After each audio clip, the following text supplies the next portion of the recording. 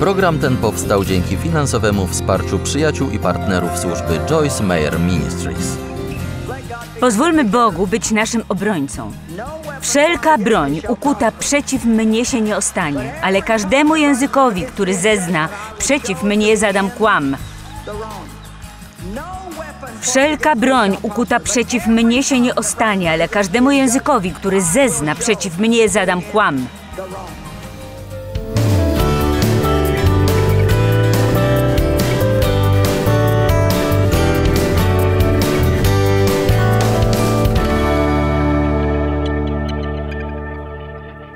Co powoduje tyle osądu i krytyki?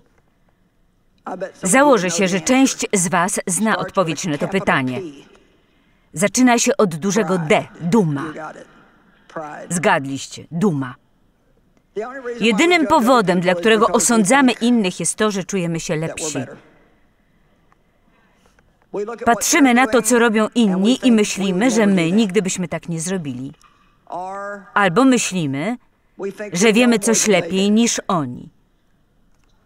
Duma jest podstawą każdego niesprawiedliwego osądu. Ilu z Was zdaje sobie sprawę z tego, że jeżeli krytycznie osądzamy drugiego człowieka, to przede wszystkim zawsze dlatego, że umiemy coś, czego on nie umie, a my nie możemy zrozumieć, dlaczego tego nie umie.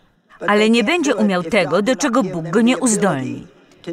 Nie chodzi mi tu o dzieci, które nie chcą posprzątać swojego pokoju czy coś takiego, ale nawet jeśli by tak było, to wiecie, niektóre dzieci są bardziej schludne niż inne. Miałam córkę, która była bałaganiarzem pierwszej klasy. To znaczy nie miałam, wciąż ją mam.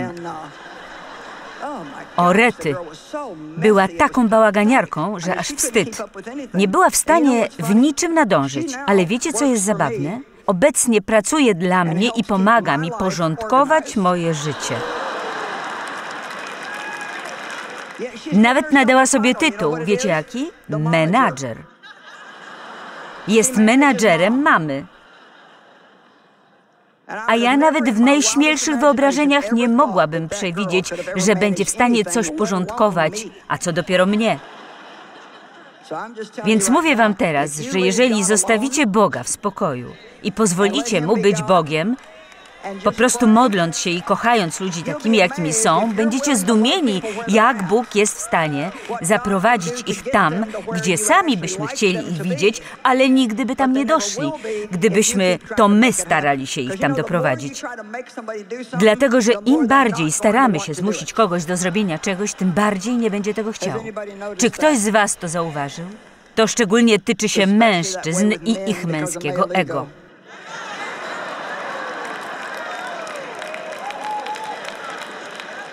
Nie mogłam się powstrzymać, musiałam to powiedzieć.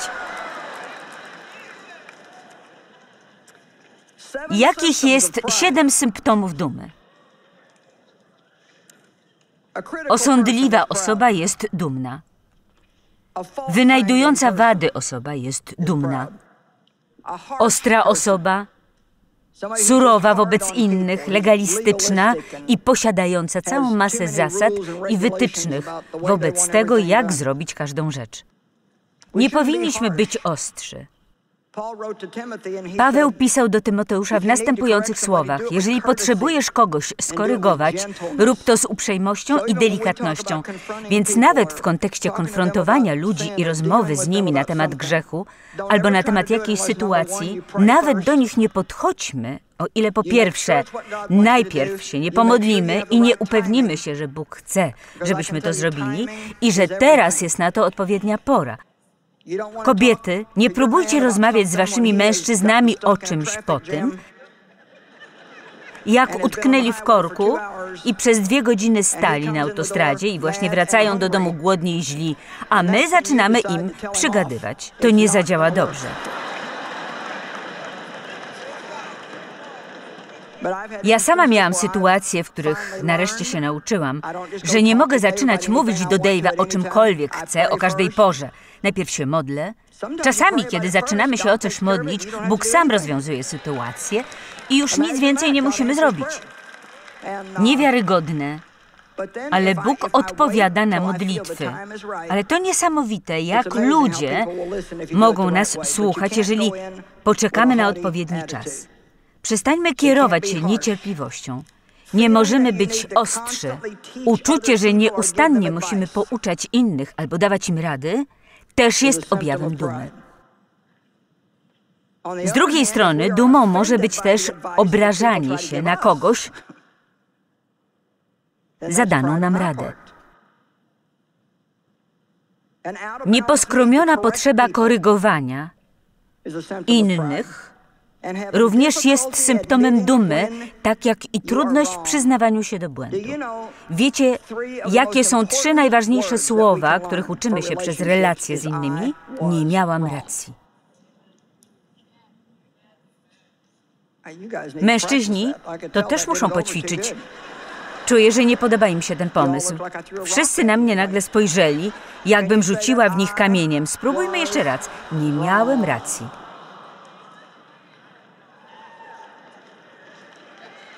Porozmawiajmy teraz o pogłoskach, a tak dokładniej o mediach społecznościowych i pogłoskach. Przede wszystkim pierwszy Tymoteusza 5,19 mówi: Nie słuchaj oskarżeń, chyba że są oparte na zeznaniach dwóch lub trzech świadków.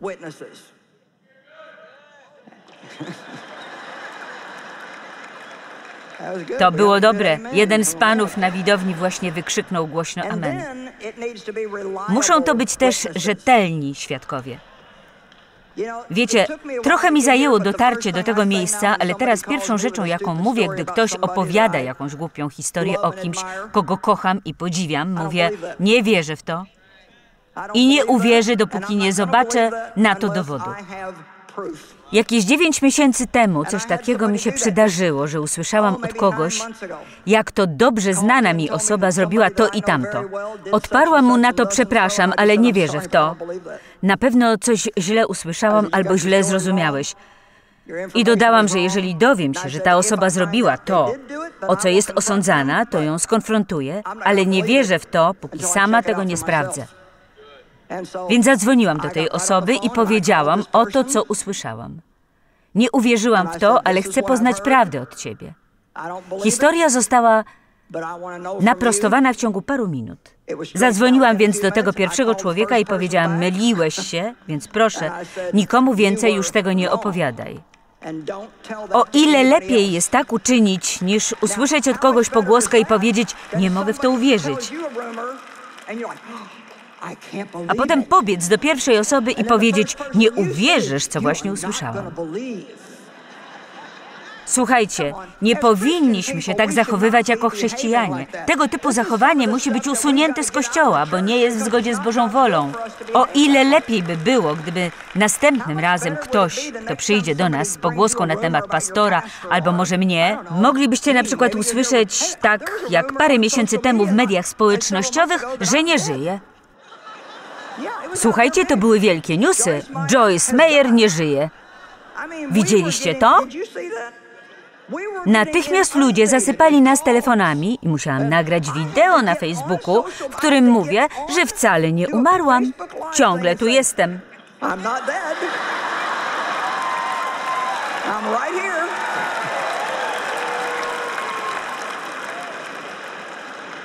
I tego typu głupie rzeczy. Powiedzmy na przykład, że ktoś nam mówi: Wczoraj wieczorem widziałam żonę pastora z innym mężczyzną. No cóż, obserwatorzy, to mógł być jej brat. To mógł być jej kuzyn. Wiecie, dzieje się coś bardzo, bardzo złego we wnętrzu człowieka, który mówi takie rzeczy, a szczególnie z takim wydźwiękiem. A kiedy zaczynamy słyszeć tego typu rzeczy z ust niektórych chrześcijan, to dobry wyznacznik tego, że nie powinniśmy spędzać już z nimi więcej czasu i powinniśmy przestać się z nimi spotykać. I myślę, że w takiej sytuacji nie ma nic złego w skonfrontowaniu kogoś, o kim wiadomo, że rozsiewa plotki i pogłoski i doprowadza do niezgody. Na waszym miejscu nie chciałabym przyjaźnić się z kimś, kto tak robi, bo jego zachowanie przynosi same problemy. Dlatego, że jeżeli będziemy w nim uczestniczyć, to staniemy się winni jak ten, kto rozsiewa plotki. Zbyt dużo ludzi cierpi z powodu plotek i pogłosek. I choć w tych plotkach i pogłoskach może być ziarnko prawdy, to bardzo często zostaje bardzo wyolbrzymione do momentu, aż staje się bezsensowną i bardzo niebezpieczną informacją. Nie słuchajmy plotek. Pewien człowiek powiedział kiedyś, pogłoski są niesione przez szyderców, rozpowszechniane przez głupców i przyjmowane przez idiotów.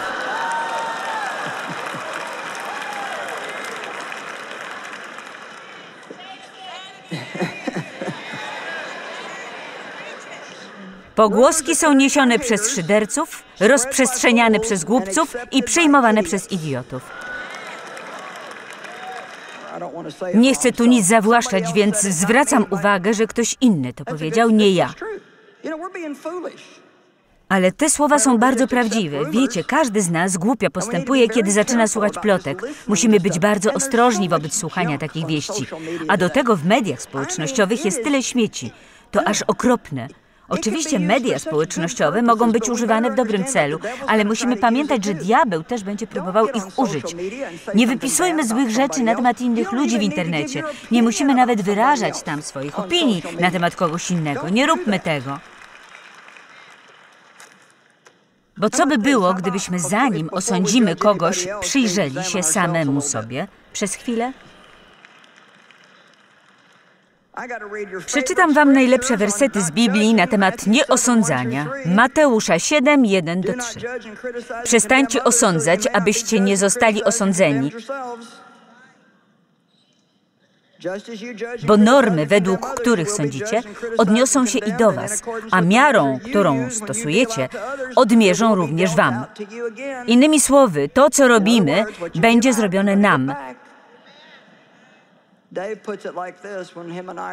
Czasami, kiedy żartujemy sobie z Dave'em, Dave mówi, jeżeli wkładasz coś na kołowrotek, to ten kołowrotek do ciebie wróci.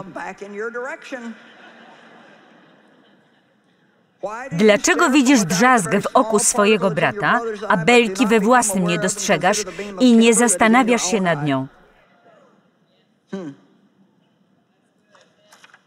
To hipokryzja z naszej strony.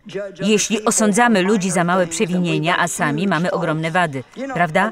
Bardzo często zajmowanie się sprawami innych jest tylko wymówką, żeby nie zajmować się własnymi. Mój ojciec był bardzo krytykującym i osądliwym, a przy tym tak poranionym człowiekiem. Miał masę strasznych problemów w życiu, ale zauważał tylko wady wszystkich innych i czasami, kiedy zajmujemy się szukaniem wad u innych, nie czujemy, że musimy szukać ich w sobie. Chciałabym powiedzieć jeszcze parę rzeczy na temat dawania opinii i tego, że musimy być bardzo ostrożni, aby nie obciążać drugiej osoby naszymi poglądami, jeżeli nie są to biblijne poglądy. Podam Wam przykład.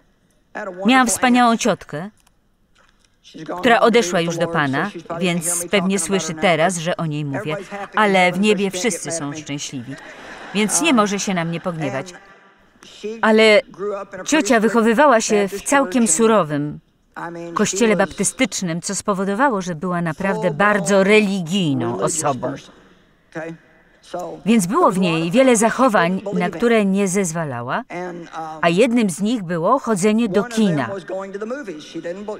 Nie uważała, że chodzenie do kina jest dobre, choć w domu oglądała filmy w telewizji. To dowód na to, co może zrobić z człowiekiem sucha, martwa religia. I pamiętam, co ciocia mówiła, kiedy szłam do kina, żeby wzbudzić we mnie poczucie winy. Idziesz do tego całego kina. Myślę, że nie powinnaś tam iść. A mimo to siedziała w domu i oglądała filmy w telewizji. Nie podobało jej się też to, że nosiłam kolorowy cień na powiekach. Było to w czasach, kiedy kobiety nakładały jeden cień na całe powieki, a ja nosiłam niebieski. Mówiła wtedy, wytrzyj to niebieskie okrucieństwo z twarzy. Wyglądasz jak lafirynda, zetrzyj to.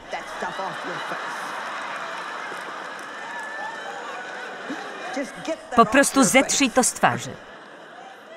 Ale powiem wam, że nikt nie pójdzie do piekła za noszenie niebieskiego cienia do powiek. Amen. Właśnie takie zachowanie mam na myśli. Każdy z nas ma takie małe swoje dziwactwa do pewnego stopnia. Ktoś chce być na tyle szczery, żeby to przyznać. Jeżeli czujemy się mocno przekonani do czegoś w naszym własnym życiu, to bardzo łatwo nam będzie zacząć wymagać tego samego od innych. Ale nie powinniśmy tego robić, chyba że wiemy z Pisma Świętego, że coś jest grzechem, ale nawet wtedy nie można niczego forsować. Moja ciotka nie pozwalała nikomu na granie w karty ani na tańczenie. Była cała masa rzeczy, na które ciotka nie zezwalała. Nigdy nie chodziła do restauracji, w których był bar. To, że nie miała zamiaru z niego korzystać, nie miało znaczenia. Nawet by nie weszła do miejsca, w którym stał bar. Pamiętam, jak pewnego razu zaprosiłam ją na obiad na mieście. Odparła mi, że tam nie pójdzie, bo w środku jest bar. Ale wiecie co? Była kochaną osobą i przeżyła z nami wiele lat. W późniejszym czasie zmieniła myślenie na trochę lepsze, ale zawsze przychodzi mi na myśl, kiedy myślę o tym, jak osądliwi mogą być ludzie. I wiecie, jeżeli chcielibyście dowiedzieć się więcej na ten temat, to list do Rzymian, rozdział 14 jest idealny. Paweł używa w nim przykładu jedzenia mięsa ofiarowanego bożkom. On nawet nie jest prawdziwy, więc jeżeli wystarczy wam wiary, żeby zjeść poświęcone mięso, zjedzcie je, bo nie jest naprawdę skażone. Ale dodał też, jeżeli brakuje wam wiary, nie jedzcie go. Ale nie próbujcie forsować swoich przekonań na innych. Wiecie, jeżeli chcecie odżywiać się w konkretny sposób, który uważacie, że jest dla was zdrowy, nie ma nic złego w zachęcaniu innych do tego samego, ale nie możemy zmuszać ich do naszej woli. Jak tylko zaczynamy to robić, nawet wobec naszych dzieci, obróci się to przeciwko nam. Słuchajcie, zostało mi już niewiele czasu, więc musicie to zrozumieć. Następnie, jak powinniśmy zareagować, jeżeli zostaliśmy niesprawiedliwie osądzeni lub skrytykowani? Musimy wreszcie o tym mówić. Prawda? Przede wszystkim, kiedy ktoś nas krytykuje, bądźmy skorzy do wysłuchania go i przemyślenia, czy ma w tym rację, czy nie. Wiem, nawet ciężko jest o tym rozmawiać. Bo wiecie, co zwykle robimy? Natychmiast zaczynamy się bronić. W Jakuba 1,19 czytamy: Wiedzcie, moi kochani bracia, że każdy człowiek powinien być skory i gotowy do słuchania, nieskory do mówienia, nieskory do przyjęcia urazy i nieskory do gniewu. Jeżeli ktoś nam daje zgodną sprawą krytykę, to znaczy, że pewnie ktoś inny też zauważył to samo. Więc jeżeli chcemy sprawdzić jej prawdziwość, możemy pójść do zaufanego przyjaciela i zapytać, czy też myślisz, że tak robię? Nie tak dawno temu zapytałam o to samo moją córkę, tę, o której powiedziałam, że jest menadżerem, bo ktoś z rodziny powiedział mi, że robię to i tamto, a ja pomyślałam sobie, wcale tak nie robię. Więc zapytałam mojej córki, czy naprawdę tak robię, a ona odparła, tak, dokładnie tak robisz.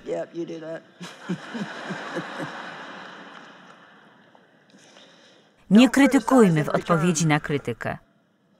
Ja sama miewam z tym problem. Dave mówi coś o mnie, o mnie, o mnie, a ja mu odpowiadam, a ty to i tamto. A jak mu tak odpowiadam, to on mówi, a ty to i tamto. Czy ktoś jeszcze tak ma? Czy tylko ja i Dave? Prawda, że ciężko nam jest przyjmować pouczenie? A jednak przypowieści głoszą, że tylko głupiec nienawidzi pouczenia. Mam nadzieję, że będę wystarczająco długo żyć, żeby dojść do miejsca, w którym będę naprawdę doceniać tych, którzy chcą mnie pouczać. Tak mi się przynajmniej wydaje, sama nie wiem. Pozwólmy Bogu być naszym obrońcą. Wszelka broń ukuta przeciw mnie się nie ostanie, ale każdemu językowi, który zezna przeciw mnie, zadam kłam. Wszelka broń ukuta przeciw mnie się nie ostanie, ale każdemu językowi, który zezna przeciw mnie, zadam kłam. Wiecie, Jezus miał fantastyczny sposób na radzenie sobie z osądem i myślę, że to dobry sposób na zakończenie tego nauczania. Tak naprawdę to Jezus po prostu na nie nie reagował. To najlepszy sposób na zakończenie kłótni. Nie odpowiadać. Ewangelia Mateusza 27:12. A gdy arcykapłani i starsi oskarżali go, nie odpowiadał ani słowem. Albo odpowiadał mówiąc: Tak ci się wydaje. Wiecie dlaczego tak robił? Bo znał swoje własne serce. Kiedy znamy nasze własne serce, nie musimy starać się przekonywać ludzi, że mamy rację, bo ufamy, że Bóg ich sam przekona, jeśli mają zostać przekonani.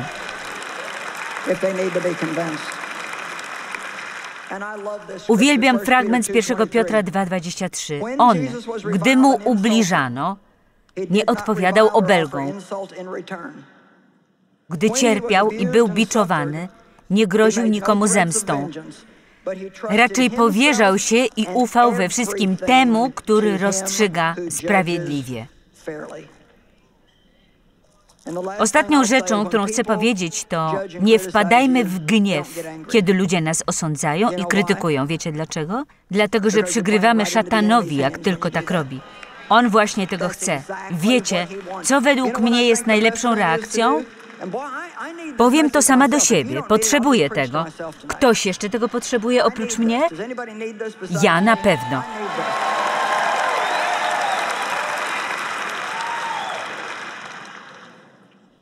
Chciałabym dojść do miejsca,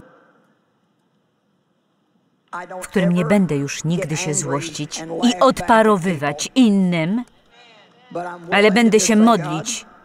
Panie, nie sądzę, że jest to prawda, ale jeżeli tak jest, pokaż mi to. Wiecie dlaczego? Dlatego, że serce jest zwodnicze ponad wszystko inne i powiem wam, że możemy się bardzo łatwo zawieść i zacząć myśleć o sobie dużo lepiej niż powinniśmy. Pomódlmy się teraz krótką modlitwą, Ojcze. Modlimy się w imieniu Jezusa, abyś pomógł nam nie myśleć o nas samych lepiej niż powinniśmy i byśmy wiedzieli, kim jesteśmy w Tobie, ale nie czuli, że we wszystkim mamy rację i musimy ciągle mówić innym, co mają robić. Pomóż nam przyjąć pouczenie w taki sposób, w jaki Ty to robiłeś, kiedy byłeś oskarżany, aby nie odpowiadać ludziom, ale pozwolić Tobie być głosem za nas.